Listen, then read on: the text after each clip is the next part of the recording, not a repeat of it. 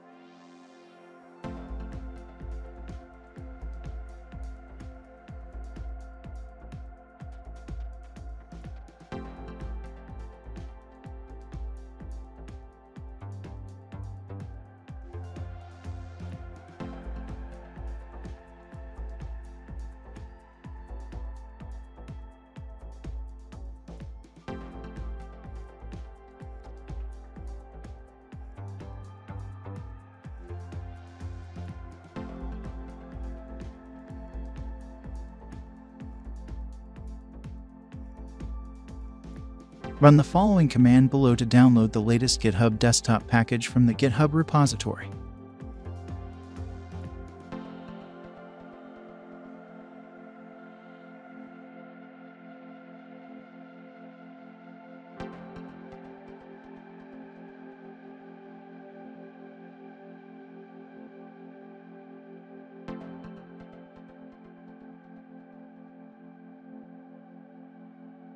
Install the GitHub desktop package using the following command.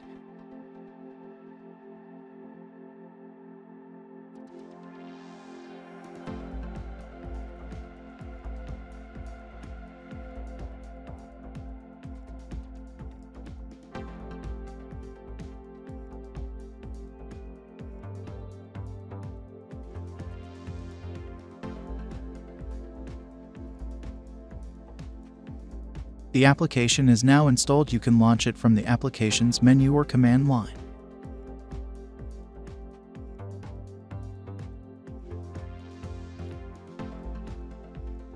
You can visit the official GitHub website for more information if you're new to GitHub. Thanks for watching. Please like the video and subscribe to my channel. This will help my channel to grow.